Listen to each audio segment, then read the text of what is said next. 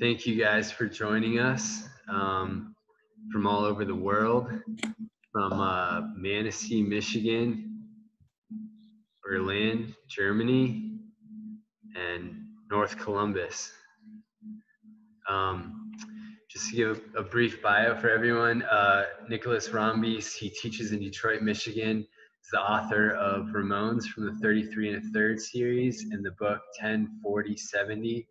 Uh, his writings appeared in The Believer, Filmmaker Magazine, the LA Review of Books, N Plus One, and The Rumpus. Um, Jeff Wood is an actor and writer from Ohio, currently living in Berlin, uh, a founding member of the experimental film art group Rufus Corporation and a Wallabout Oyster Theater plater. Uh, his 10 year collaboration with Eve Sussman and Rufus Corporation produced the works 89 Seconds at Alcazar, The Rape of the Sabine Women, White on White, Algorithmic Noir, and numerous international screenings.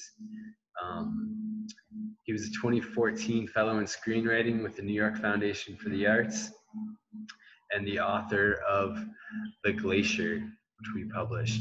I should also say Nicholas Rombes is the author of The Absolution of Roberto Acestes Laing, which we published as well. Um, and then lastly on the call, we have Mike Shiflet, uh, who produced both $2 radio movies, as well as did the photography and soundtracks to both. Uh, he's a musician whose work has been praised by Pitchfork and NPR. His new uh, album, Every Possible Outcome, came out on May 1st and is available through Bandcamp. And the reason why we all got together on this call or this Zoom uh, webinar was to talk about a movie that we made together in 2015 during the sweltering summer of 2015 um, that came out in 2016 um, called The Removals, which was uh, written and directed by Nick. Um, like I said, Mike did the photography and soundtrack and produced it, and uh, starred in by uh, the Jeff Wood. Um, yeah, for anyone who's not familiar with the movies that we've produced, uh, we made two movies uh, basically on no budget, um, which you all can attest to. And uh, the first was uh, called I'm Not Patrick, which I wrote and uh, and, and directed. Um, that Mike shot and did the soundtrack for, and um, and then the second was The Removals, which also starred uh, Scott McClanahan and Juliet Escoria and Milly Sanders, uh, who starred opposite uh, Jeff, uh, played the character of Catherine, and um, for me, it was a really incredible, rewarding experience. I think in terms of um, editing books and publishing them, it's something that you do very solitary. Uh, and you know, in terms of like interacting directly with an author, you know, you might hop on a phone call or or communicate by email. Um, but for the most part, uh, the removals was such a rewarding collaborative experience and everyone brought so much to the table with the first one i think you know mike can attest to uh, you know we were working with people who hadn't really done any acting or anything like that before so it was a lot of coaching and just saying okay could you try to do this?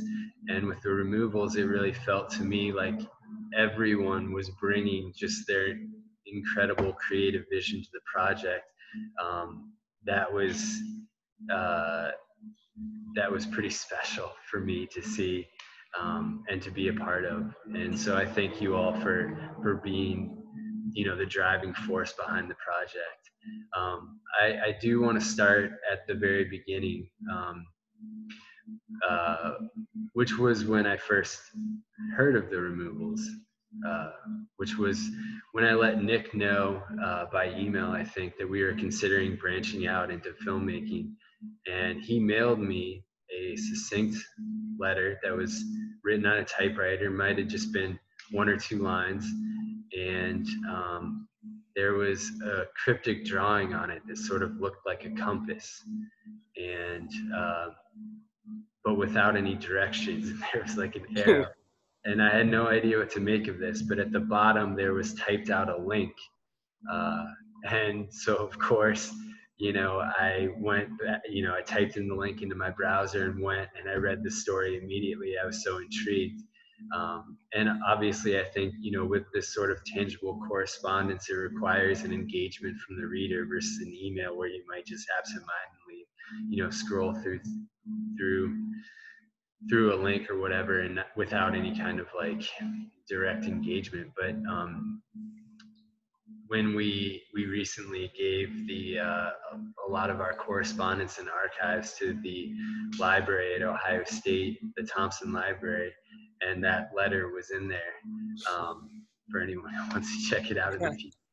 But Nick, do you just want to talk about the origins of the story or the script or how you envisioned it? Whether you even, I mean, because I know it was a story that was that was published at Berfrois and um, whether you even imagined it actually having this cinematic life or not, uh, or whether you were just bullshitting me.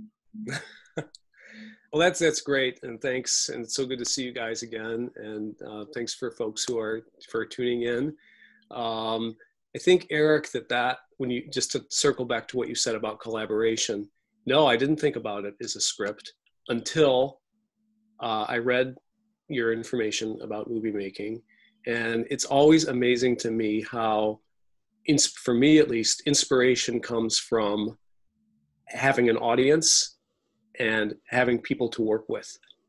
And so it never would have been a movie had it not been for your call. And that transformed it into into a film. And uh, I, I, never imagined it being that way at the beginning. But I grew up in Northwest Ohio, and there's a fort around there called Fort Meigs near Perrysburg. And it was built in the, well, it was used in the War of 1812. And uh, I mean, to be honest, a lot of genocide went on around that fort. When I was growing up, we didn't call it that. Uh, but every year there would be reenactments, you know, you, like similar to Civil War reenactments. People would dress up in costumes and you'd go out for a few days and see the women cooking and the boys in the field and the soldiers. And I was always fascinated. Well, first of all, who would want to? What were people getting out of that? And also, I at some point I just began thinking, you know, what if? And they would reenact a little battle. And I thought, you know, what would happen if?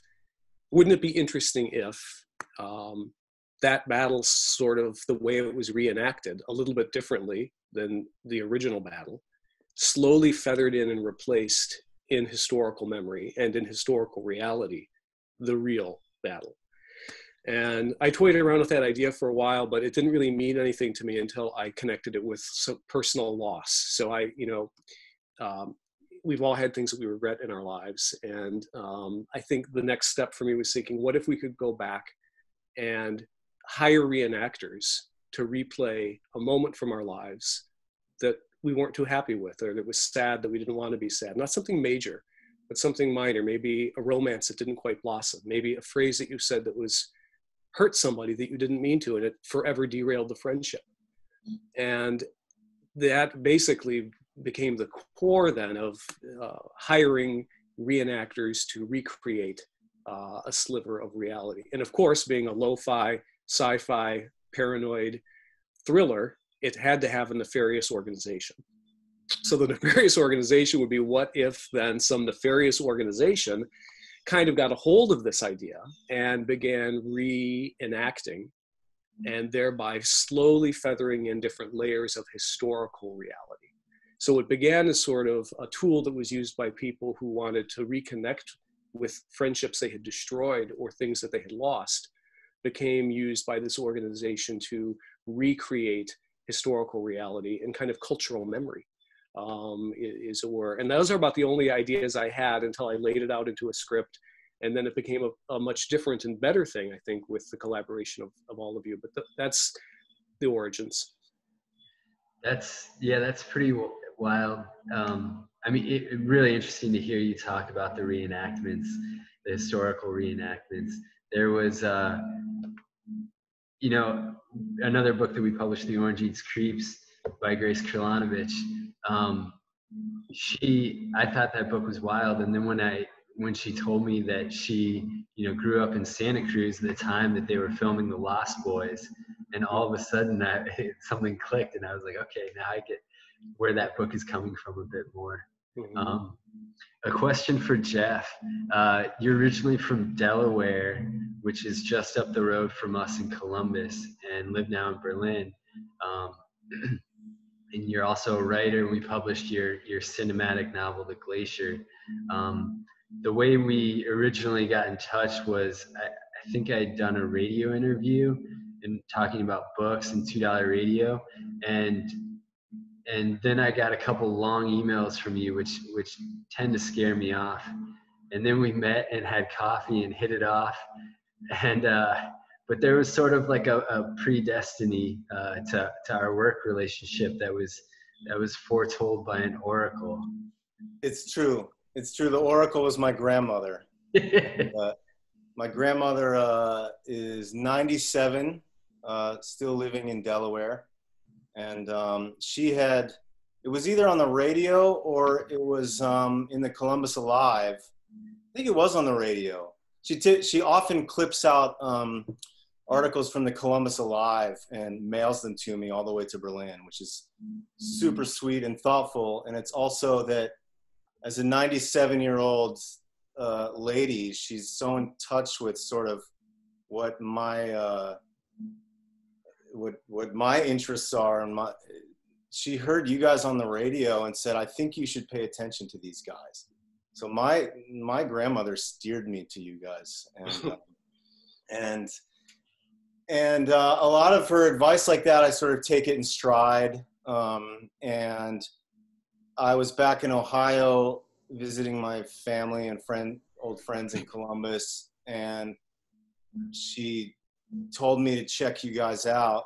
And I looked up looked you guys up looked at what she was talking about and was like holy crap this is this is really cool. These guys are you know doing what they do. This was in 2013 so i think the thrust of your radio interview or article was about the fact that you were doing books and you'd just done your first uh, low low budget film and uh, so hence the long email. I was like, these guys are, I don't have any idea what I would do with these guys, but I want to know them.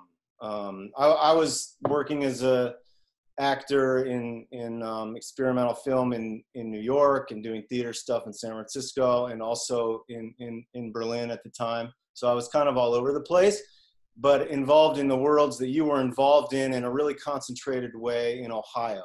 And and um, I thought this was really really cool and um, really actually really meaningful for me that I felt like somebody in central Ohio was doing exactly what I wanted to be doing all the time in a way. And I didn't have to, that it was happening right there in central Ohio um, to me kind of blew apart this, you know, this idea that you got to go to New York City or to Los Angeles or mm. to, you know, th- th- this was really really uh, um, resonant with me.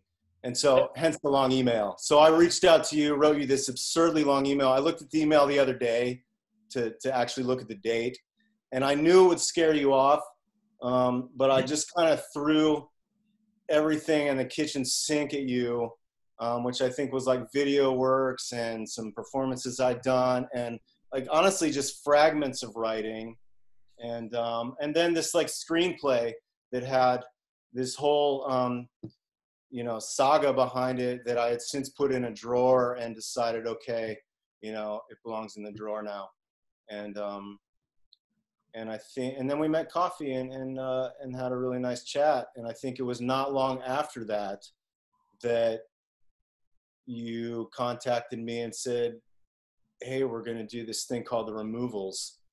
Um, do you want to be involved? And i and i said yes Im- immediately before even having any idea what it was and then you sent me the script. And um, were, you, were you at one of the event like live events? Like was it maybe the i'm not patrick rap party? I feel like i met you at something at the it looks like it's open gallery. Yeah. Yeah. Yeah something. And you were you were there very briefly and i just remember yeah. you came in you like talked to eric someone left and then eric was like that guy sent me some really long emails they were kind of crazy but I think he might be in the next project. Sometimes you just gotta like you know come out with the guns blazing and and and hope for Well, it's best. helpful to see that you weren't uh, scary or threatening or, or stalker-ish too, you know, but like a sane person. And also a lot of that video work that you did is available to watch on Vimeo and I think touches on a lot of very similar themes to the removals and also Nick's novel too. You guys are are kind of on the same wavelength. Uh, Yeah. one of those videos I, I really love the one um, that takes place in Greece, Yeah. and I think the Phyllis the Oracle is, makes an appearance in that as well. Yeah, yeah. The uh, okay, so so now one for Mike. Mike, there was no Oracle involved, uh, but you're you're a noise musician, um, and you've made a visual album or two, I believe, as well. Uh, and I think that I've told you that I, I, I see your your your music being very cinematic in terms of how it's structured in the art. How do how do you see visuals and sound or music working together to to effect? Oh, that's a that's a tough one because it's hard for me personally because I love there to be like a layer of abstraction. So I I don't necessarily like the kind of traditional connection that might be uh, involved in a, a soundtrack per se. You know, a big swell that tells you how you're supposed to feel. um, but I, I like juxtaposition a bit more, I guess. Um, I don't know how much that came across in the movie, but I definitely I love the opening sequence of the removals. It's one of my favorite things I've had any part of. Just um, for those who haven't seen, it's Eliza, the other half of Two Dollar Radio. Um, well, yeah, I guess we don't know it's her. We always see her hands working a sewing machine, and she's assembling a flag that appears uh, later in the film. But it's just all these different shots of her running this fabric through the sewing machine, and then uh, I made some really kind of skittish electronic music that kind of mimics the sound. So you have the actual sound of the sewing machine, and then some like electronic accompaniment to it. And I, I just thought that stuff together, like, I mean, it, it's like a music video in and of itself to to start the film. I, I really enjoyed that. Yeah, that's cool. Um, excuse me. As we were talking, uh, you know, so sort of to give like a, a brief nuts and bolts synopsis about what the removals is about. Uh, two characters, Catherine and Mason. Uh, Catherine played by Milly Sanders, and Mason played by Jeff Wood. They they're um, they work for this nefarious group that's uh, essentially charged with eradicating authenticity from society, and they do that through uh, this repetition by restaging acts um, that have happened with duplicates, with actors to reenact the scenes so that they are a copy, and then that copy becomes a copy of a copy. Um, and so I guess you know, in, in, in our brief conversation before we started uh, broadcasting here, we were talking about real versus fake, um, you know, and that coming up. And there seems to be just so much of that happening in the world right now. Um, I mean, to make a really obvious point about, or, to give a really obvious example, I mean, with Trump's uh, press briefers under coronavirus, you know, it, it goes the same every afternoon or evening. You know, an expert talks, he speaks for an extended period of time and then says something questionable, and then you know the news cycle just like runs with it nonstop until you know it just keeps getting replayed and replayed and replayed until what he originally said seems to be like any kind of currency or value to that has just been removed entirely. Um, Nick, did you ever see this? How this could, any kind of real world uh, situations where this could have been played out? I, th- I think, you know, when we were initially talking about the script and, and this uh, example of removals, I, I think we were talking a lot about um, social media and, uh, and, and those sort of implications. But um, yeah, did you ever imagine something like this could have? No, I mean, uh, the closest I would say when I first came to Detroit, I began teaching in Detroit in 1995. And I was, a, I was aware of the riots And in fact, in my office that I inherited from a previous professor, there's a Life magazine from August 19, July and August 1967, uh, with the words uh, Detroit riots uh, on the cover and images, right? Images right inside the magazine from where near the university is located. Um, the university was one of the few universities that didn't leave the city after that. So there's only a few actual universities in Detroit itself, Wayne State, University of Detroit Mercy, and Madonna. Um, and most of the others are on the outskirts. But anyway, I had been calling it the riots. And soon after I got to Detroit Mercy, somebody corrected me and said, oh yeah, that we call that the insurrection. And all of a sudden, I began thinking about it differently. And for me, it just speaks to the power of language not to reflect reality, objective reality, to describe things, but to shape that reality and therefore to shape history and to shape culture.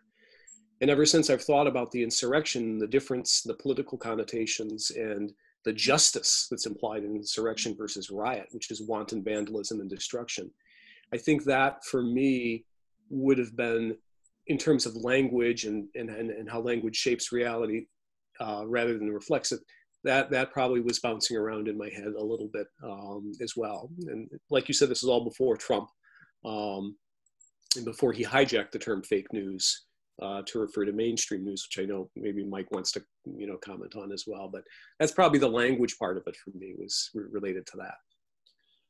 Well, outside of even just like the the very obvious like fake news reality we live in, I don't know if any of you saw the documentary on Cambridge Analytica, but it is like it is like a refracted version of our film in real life. Like it is a removal of the removals because hmm. it stars around these people who've deflected from Cambridge Analytica, uh, you know, from the company. Uh, mostly they're grifters and, you know, they're not doing it in search of any like truth or higher meaning for themselves or any, any of like the motivation that maybe the characters in the film had. They're just trying to save their own asses or whatever but it's like an even more direct parallel to what's going on in the film than like the sort of overtly stuff that's happening on the political landscape. It's literally people, you know, who did the did the evil deed and are now trying to like escape it. I, just to jump in too, um, Jeff, I just read the essay that you uh, published at 3 a.m. magazine and you touch on a lot of these issues too of authenticity you know make, trying to make sense of the world the news cycle lockdown and uh, hysterical realism. And you describe i'm, qu- I, am reading here because I, I want to quote you ac- accurately.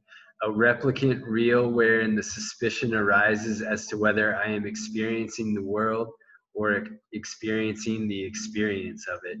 Um, do you do you want to chime in here buddy yeah, I, I can try. Um, uh, I, I, think it's super relevant to to what Nick was working on and, and, and has been working on and what we all worked on together. Uh, so many things come together over this subject and came together for all of us in the past four years and in the years that have you know transpired since the production and um, this writing that i've been doing that that I've been calling the replicant real um, came out of my experience with the world since we made the removals, which um, largely is crossing the, the terrain of Trump and uh, Trump world. Um, and it has to do with sort of this idea, this exact idea that Nick is talking about, which is that um, language and images, after a certain point, and maybe even at their inception point, don't describe an objective reality, but they actually shape that reality by shaping the way we see the reality. Um, so our reality is the seeing. We're we are the window as much as we are the looking through the window, and as much as we are this thing that's on either side of the window as the seer and the seen or sort of all those things at once at all these different scales. And um, I started coming out of the removals and um, really going through this four-year sort of um, feeling of uh, internal external hysteria, which was my emotional response to Trump, in a way, and the reality of fake news, everything that the whole Trump circus, whether it's fake news and everything that goes along with it, and um, there was a moment when I was taking a walk in the cemetery here. I live a block from the Berlin Wall here which is its own kind of replicant, real, hysterical reality in a way. Um, and I was walking in the cemetery here trying to get a grip on things a couple of years ago. And um, it suddenly occurred to me, sort of right along the lines of what Nick's talking about, that uh, that reality and my perception of it, even in its most peaceful form, had become hysterical um, a sort of uh, what I began to think of as um, a trauma cinema. That the that my perception of the world around me, it's like I downloaded the entire internet because I basically had been glued online in Berlin looking at the United States. You know, I essentially felt like I downloaded the internet over like three years, and um, and at a certain point felt like I was looking out from within this trauma cinema. That even in a, a beautiful, peaceful walk in the trees, that there was something traumatic about reality. That reality had somehow become corrupted like a file um, and had been replaced by something else. And I started to think about this as a trauma cinema that we organize ourselves around in order to be able to share it. So if it's not traumatic, we can't share it together here in these four screens somehow. So I went back and thought about what we had made together again. This idea of reality being replaced by another reality that actually shapes the reality that we perceive ourselves to be in as this sort of trauma, which is exactly how Nick had written it out, um, as this ripping of reality and replacing it, almost replacing it with itself, but as a traumatic version of itself. Um, so there's a loss of fidelity in that trauma. And, you know, not to go on and on and on about it, but it also converged with the, with Blade Runner sort of crossing itself in the future in November of 2019 last year. And, and then I encountered this term hysterical realism. Um, I was working on a project with Mark De Silva, actually, who also wrote a book, wrote a book with you guys, and um, and uh, he pointed me toward the literary critic James Wood, who had who had coined this term hysterical realism as a critique of these major reality consuming novels David Foster Wallace, Don DeLillo, Zadie Smith, even the Franzen novels. And these novels that are so enormous in scope that they try and take on reality at every scale and at every um, at, at, at every scale of detail so that at a certain point you're not sure whether you're reading the world or whether you're reading the perception someone else's perception of the world and that th- those two things become the exact same thing and so i started to see that this i started to feel that this literary genre described as an hysteria there's so much detail going on all the time that we're trying to coalesce as an understanding um, that that literary genre of, of an hysteria had metastasized and consumed reality as this replicant version of itself. Um, and this was my real experience with what I felt the internet of Trump was doing to me in, in a way. And, it, and it's what I felt was exact, exactly what Nick had, in a way, um, uh, predicted, had written, and in, in fact had written as a manifesto somehow. And so, to make a long story long, that's sort of you know. What's startling to me, I mean, so I, I did go see you one time a few years back in Berlin, and that sort of like collective um, um, burden of history is, was something that really struck me about Berlin. Just walking down the street, or you know, walking out your apartment and turning right and seeing, you know, a couple blocks down where the Berlin Wall was. And it was interesting, just timing wise. Uh, I, I really only listen to podcasts when I'm traveling, like in a car or on a plane. And I just listened to a really, really terrific uh, Radio Lab episode about the Mau Mau uh, in Kenya and how the British authorities just, you know, sort of like covered up that entire history and rewrote it uh, effectively. And I think yeah. that something, um, you know, very American or colonizer, you know, in terms of like taking history and just rewriting it. And, um, but tying it back in, I guess, to what Nick was talking about in terms of Detroit, and I've heard people call it ruin porn.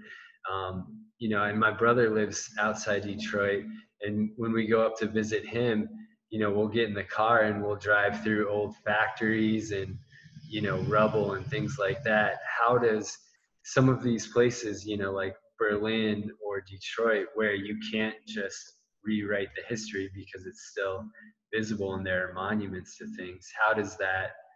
Um, I don't know. There's no. Yeah, if, you want to talk about that. yeah, I'll, I'll, say a little bit, and then if Nick, Nick, if you want to jump in, but it's it's quite wild, I think, and it's quite wild to be here in Berlin while all of this is going on in the United States, particularly today, even today, uh, of course, um, what's happening up in Minneapolis, and um, and uh, like I said, we live a block from the Berlin Wall, and uh, I feel like every day the Berlin Wall is reenacting itself for the public. Um, you know, because before the before the the lockdown here, on any given day, I could walk out of my house and walk a block up the street, and there'd be, you know, thousands and thousands of tourists there taking pictures of themselves with their selfie sticks at the Berlin Wall, and so there's this very interesting tension and in some ways uh, contradiction between the recognition of history and the assumption and responsibility for history and also this reenactment of history again uh, going back to nick's reenactment here of the civil war or revolutionary war um, uh, there's a tension there between the uh, authentic, authentic history of it which where is that? How do you find that? And um, and a sort of um, reenactment of that history that sort of in some ways also provides a whitewashing of it. You know you can go to the berlin wall stand in front of it take a picture of your family with a selfie stick and in some ways in my estimation kind of be able to say i'm out i'm liberated from that now. I'm outside that now. I've just documented myself as being um, free of that history. And so the Berlin Wall is really striking to me in that sense, and that it sort of occupies both time space fields as a sort of authentic history, whatever that is, and a simultaneously, you know, replacement, removed and replaced history. Um, it's it's it's something. I just had one quick thing to say, and then I can I ask Mike a question too, Eric? Of course. Um, no, I've always I wondered like I feel like in the United States our history is so shallow in the sense that because we're so young that for me like ruins porn uh, in Detroit and you know that's old for us and I, I think there's a craving for history even if it's only 60 or 70 or 80 years old because we don't have deep European history. We don't have deep time like in Iran or Berlin that goes back, back, and back. And so the ruins in Detroit, I've always thought of as sort of they are a form of history. We don't have much, you know, there's not much documented history, architectural history prior to those buildings. So I've always wondered if there's some, you know, the fetish about ruins porn and about nostalgia for cities that aren't that old has something to do with our sense of shallow time.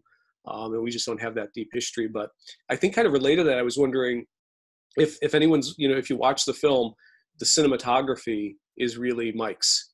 And the most of the beautiful images that are captured in that film. Uh, and to me, the beautiful thing rewatching the film is the lyricism of some of those images. Like Mike was saying in the opening, the, the moments that don't have dialogue, um, the moments that we just captured on the run, um, that are really important to the experience and the affect of the film, but don't necessarily advance the plot in a really kind of linear way.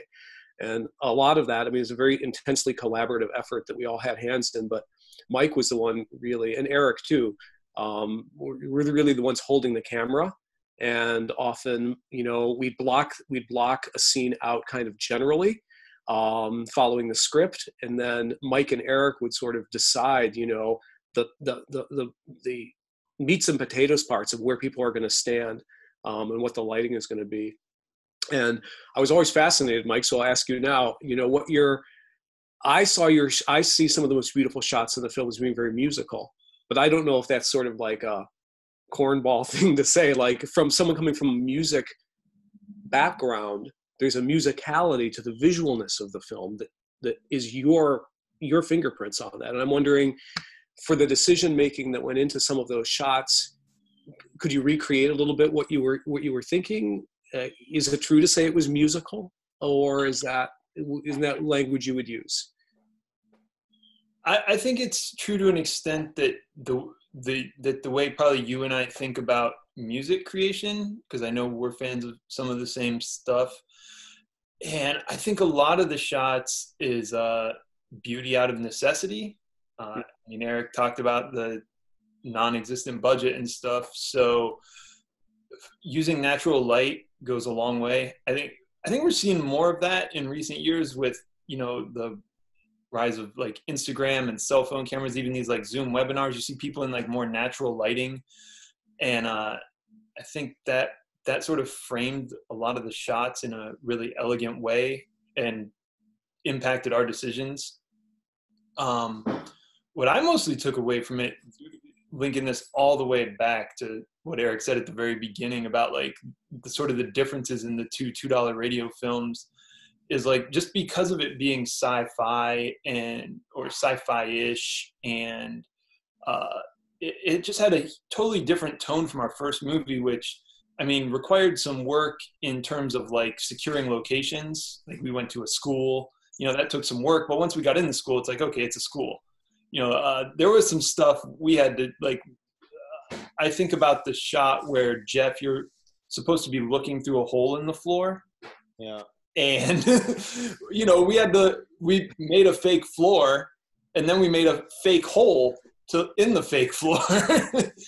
you know, just like all the brainstorming we had to do to like come up with how to make this work. Uh, you know that, and just you know I wasn't involved in too much of the location scouting, I don't think, but I just, you know, think about Eric driving around and figuring out where we can get this stuff done in like a 20 mile radius, you know. Uh, yeah. It was a huge leap from like the first one, and and that was really fun. Well, and I, to piggyback that too, it, it, it was so much fun. Um, but I think that you know, with it being such a, a, screenplay that had such strong visuals. I mean, you know, shooting in a greenhouse can be absolutely gorgeous. Like it was a lot of fun, you know, to try to figure out some of those angles and things like that and play with that. But when you're shooting in like a high school, that's bleak as fuck. Like you can't make that look nice, you know, like I mean, you can try to make it warm and accommodating, but you know, thinking about it visually isn't that inspiring. Um, and then also some of those amazing visuals that are in the script too, you know, like the cones and um, the color Love red. Yeah. I think uh, Ohio also played, you know, we were in Ohio in July, I think, right? And it was rainy. And there's a light. I, David Lynch has talked a lot about how when he moved to LA, from Philadelphia, and you know, uh, the light changed everything for him because of the pollution or the particulates in the air create a kind of glitter almost that makes it so beautiful for cinematography. And I've thought a lot about that, and I think about the light in the removals, and I think about how it's every in the way that every film is. It doesn't, I guess, rely on a lot of CGI. That it's a documentary about a place. You know, so when I look back at the removals, I see it as being a documentary about Ohio in July 2015. It records that reality. It records that beautiful summer air. Those are some of the longest days of the year in Ohio. Um, and that that in the humidity because of all the rain created a certain kind of like mike was saying kind of natural light where we, we almost shot nothing at night uh, and we relied on storms coming in we relied on the fresh greenness after after strong strong rains and um, that's something you can't plan for and i think that that's just a real you know it's just a real privilege to see all of that come and i view it as a time capsule of a of a of a place really. It's really for me a story about ohio in july 19 i was at 1915 you know when i think that the the the uh the outdoor scenes in particular especially the wooded ones there's a real interesting way that that like you know the leaf what am i trying to say the, you know the the the green growth everything you know all the cover is filtering the light in so many ways. So, you know, you don't have that sort of unidirectional light that you would see, you know, like, like is coming in me right now through this window. It's, it's filtered and angled and, and it's, you know, the scenes with like Jeff crawling through vines and, you know, it, it just, it, it takes on like a really interesting look. Yeah. Yeah it does a lot of the work for you that's for sure to have that light like bouncing around everywhere inside this canopy you know, and uh, and uh, the same the same goes for the the scene that we shot in the um, the concrete cornfield, where uh, in Dublin, the concrete cornfield in Dublin, where it felt like everything just came together as a, a symbolic gesture, gestural moment in the film. You know, where Ohio is being rep, replaced and replicated by by concrete corn cobs. So you have this sort of um, sculptural replacement of Ohio itself, and and it's and and they're springing up um, right at the peak of this low pressure system that's coming down on us. So you've got all the um, kind of all the air being sucked out of the room by this low pressure system that's coming in, and that insane light that you get in in Ohio in the middle of summer, right before a thunderstorm is about to break, where um, you know, you feel like your body's going to kind of fly apart in this low pressure system. It's sort of tornado weather, you know, where the light mm-hmm. starts turning green and funky and weird and and um, yeah, you've got kind of Ohio is doing a lot of the heavy lifting there. And that was so. What you're talking about there is is it is an art installation, uh, a series of sculptures by uh, a sculptor named Malcolm Cochran, called the Field of Corn, and it's in uh, the suburb of Columbus called Dublin, in this weird industrial park. You know, so it's surrounded by office buildings, which is really unattractive in general. Uh, but there's you know this gorgeous green field that's kind of untouched across the street, and I remember that being one of the things, one of the advantages to traveling light you know, where it was just the four of us and we got permission from the sculptor to shoot in that field like the night before or that morning or something like that. And we were like, all right, we're going to shoot this scene this afternoon. Uh, but then there's this monster of a storm coming in. It's like, okay, we need to drive fast. I, I, was gonna say I, w- I actually wasn't even there for that. Were you there, Nick? I, I kind of thought it was just Eric and Jeff, like kind of because it happened so quickly like that that turnaround was so fast that i think i was back at work or i was working like half days or something to juggle like the shooting schedule with my day job and so i wasn't even at that shoot you know it, it happened so fast and but it's like i think we were there all of 10 minutes yeah, yeah. we really like pulled up the tornado okay it wasn't a tornado it was the storm tornado.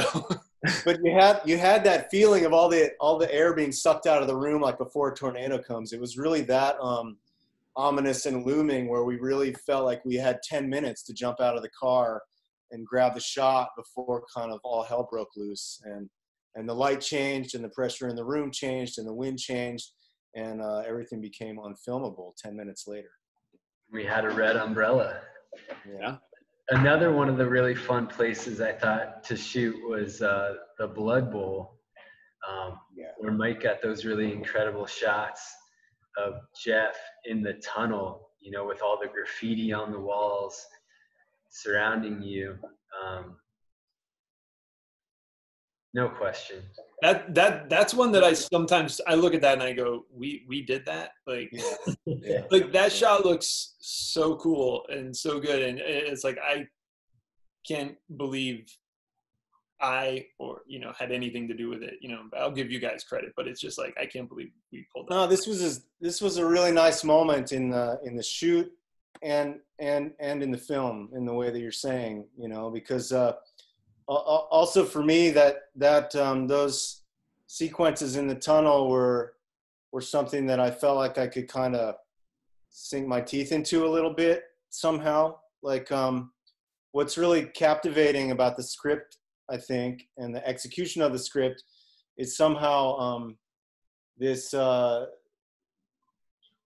in a way how ideas can be scary how how um there's there's something about ideas being terrifying.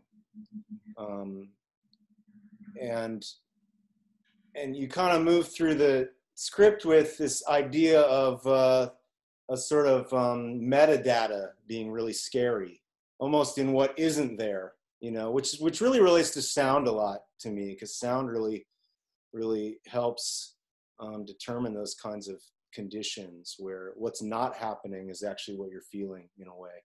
And um, and uh, as we move through the script though this is something that's kind of very difficult to act you know um, because i didn't see i didn't see that there needed to be a lot of um, i felt we needed to execute nick's words you know i didn't feel there needed to be a lot added to that you know from some acting position or something. It was really about executing these words. But by the time we got into the tunnel, it felt like, okay, this is not about ideas anymore.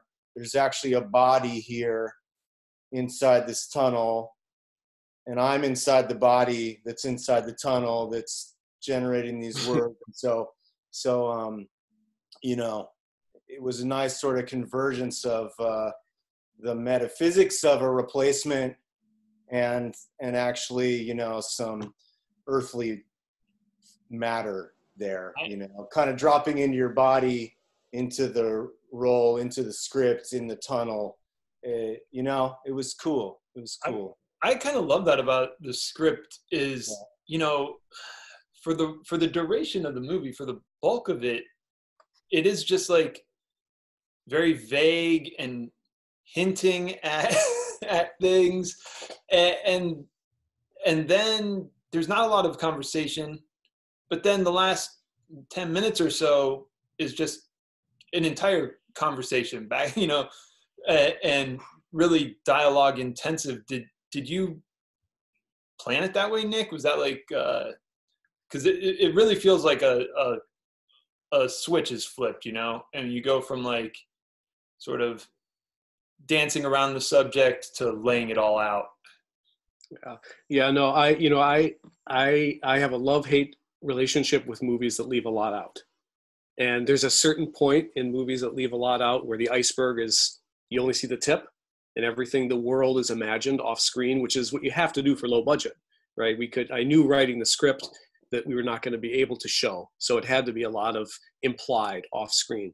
However, there's a point at which as a viewer, I feel you you feel you're being cheated a little bit and that you you know that there's nothing worse than like false ambiguity, you know, or intellectually fraudulent ambiguity because you don't have anything to say. And I really recoil at those movies that don't kind of do. I love genre films. I love horror. I love I love when it gets down into the to nitty gritty. And I felt at some point in the film it needed it needed to like come together. It needed to have some sort of closure. It needed to have some kind of actual real life dialogue and people talking and doing things in a way that was familiar. So I think it reflects it reflects that a little bit. And I will also say that the first night, speaking of you know dread, I couldn't believe that Jeff, you know, that you memorized the lines. I have never worked with a professional actor before, and when I wrote the script, I thought, and I'd never met you really. I hadn't met any of you know any of you show up, and all of a sudden, you and Milly, Mike and Eric, you're professionals, and I thought, well, now that first night, I thought, well, he's actually memorized the lines. I don't know what I thought. I thought maybe you'd read them before and then just like, you know, go. And I won't say I almost backed out, but I really got the sense of imposter syndrome, you know, which is what fuels me, right? If I didn't have imposter syndrome, I wouldn't try not to be an imposter and I wouldn't create what I create. So I love imposter syndrome. I'll defend it. But I really had a scary case of it that first night. And um, that to me is the beauty of collaboration because it never would have, I never imagined it being professionally made. And I don't know if you all think of it as a professionally made film, but, but I do. Um, and so that was my fear factor. Well, that was one of the questions that I had for you too, Nick, was what it was like as a writer to then see your words come to life and work with other people uh, in terms of the collaborative process. Because I think it was interesting uh, for Mike and I too uh, to see how the different actors handled themselves and how they approach their scenes. I remember Milly, you know, she had a binder. I was about to, that's what I was about to reference. I mean, she put a, like, she put the, us all to shame in the professionalism department. Uh, she was, I remember at the greenhouse, we went to film some B-roll and she just had a, a, a list of emotions, like a printout and was like, I'll just run through this while the camera rolls and you just, you know, can use whatever you want to use, you know, and it'd be like, you know, for for long you know like what? Okay sure. And you use some of that right? I think yeah a couple of them are in there. Yeah. Well i've been inspired so much. I mean we all have right? I for me the magic the satisfying uh, I, my own life has been inspired by other people. I wanted to write because I read Raymond Carver when I was young. I wanted to make movies because of David Lynch. And if there's any and so the, the collaborative experience to see you all generating new creativity based on something i wrote that i wrote based on something that inspired me was the pleasure right? So my, my pleasure was in sitting back and watching mike with the music and the camera and eric and jeff and Milly doing their thing and thinking that i had some small part uh, in that. Because at the end of the day for me human experience is about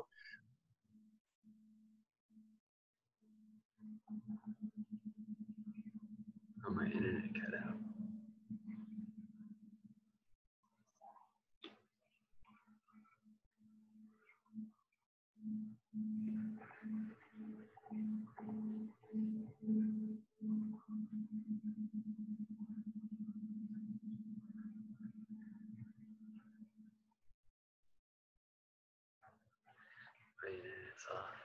It is supposed to become something else you know, which is always a weird position to put yourself in as the creator of that thing. Like, what is it? It's not. It's not what it is.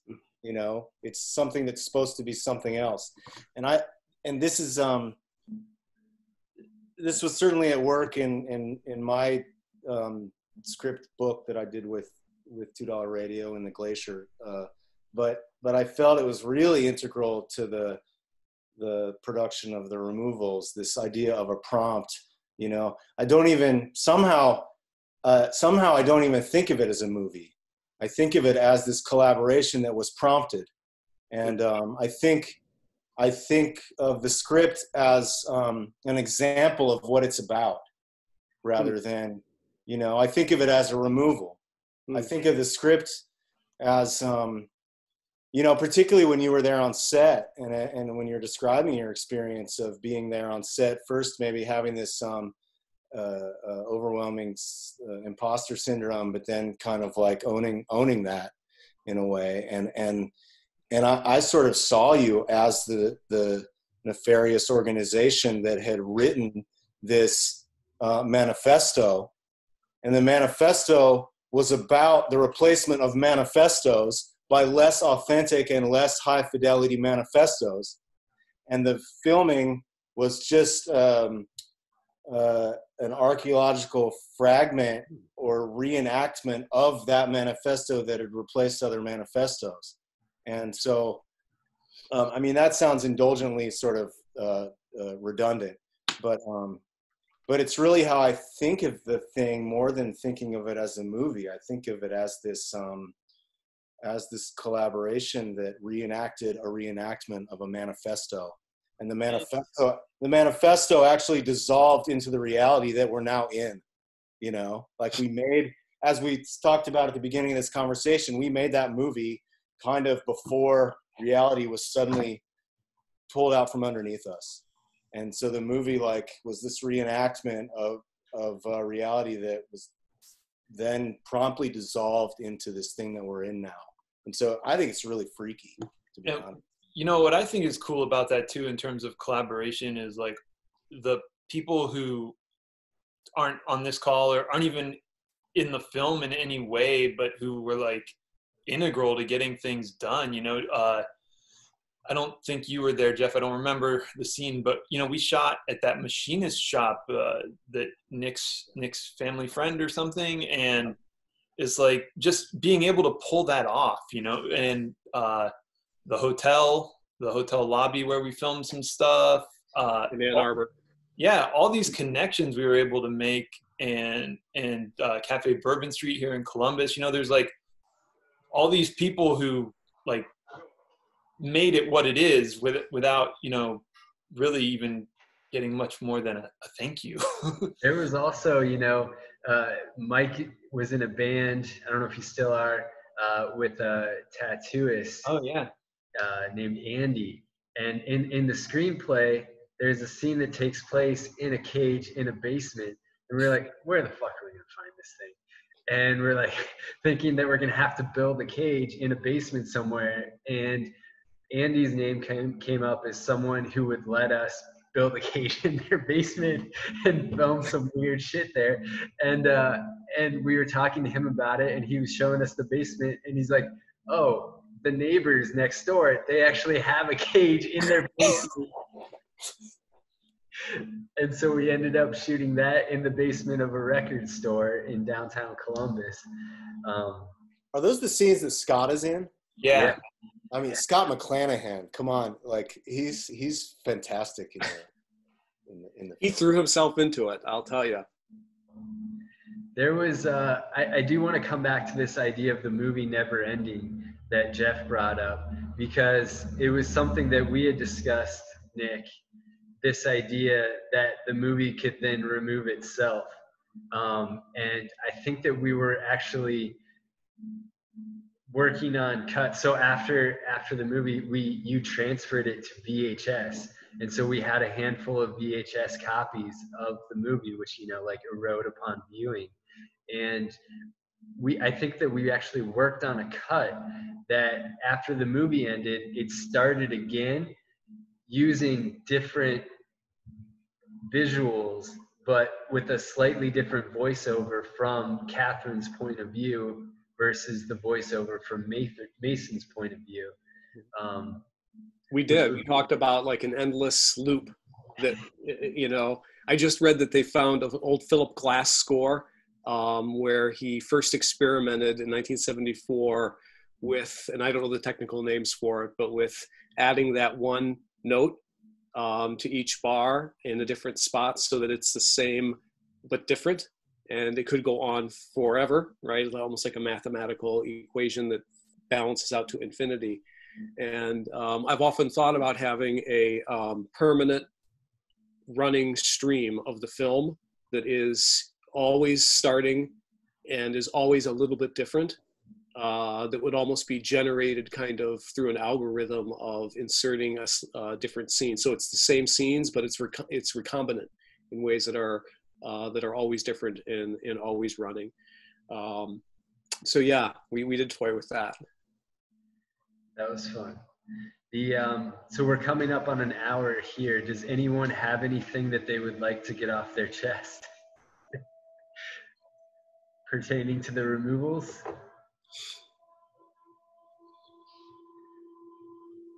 No, Mike. happy to talk about it more, but uh, Yeah. yeah i mean like I, I think i think we've all basically come around to you know we're we're we're we're living it. We it, it, there was an oracle that foresaw you two coming together and then um, all of us together kind of oracled this sad state of affairs into existence.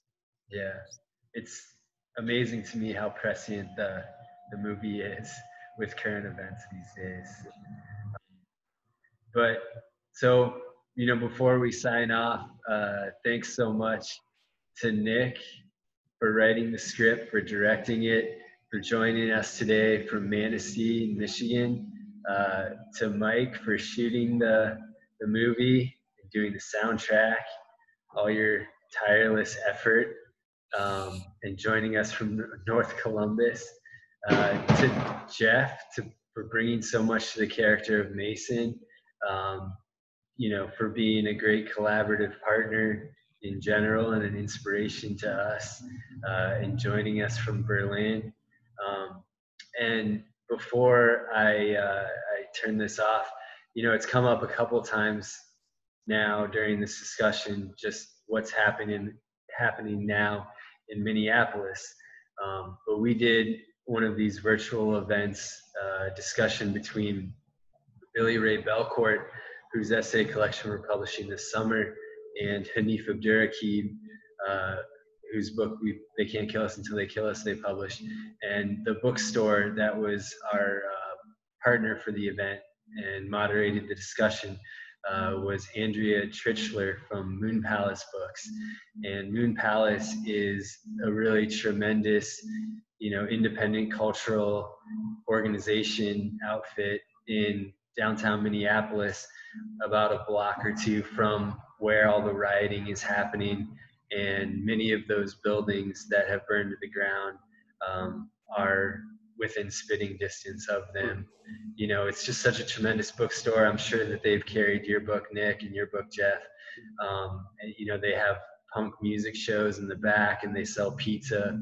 Um, but uh, hoping and praying for their safety, and they're in our thoughts and whatnot. Um, as well as everyone else who's affected by the horrific brutal police violence. So, um, yeah. Uh, all right, guys. I just want to say also on behalf of all of us, thank you, Eric. I mean, you obviously were the glue behind everything, the creative force, the monetary force. You made it all happen. So uh, we've talked a lot about our contributions, but no removals without you. Yeah, I I, yeah. I hope we get the chance to do to do something again in the future. Sure. So, best wishes to you guys. It was great to chat with you. Hope to see you again. See you all.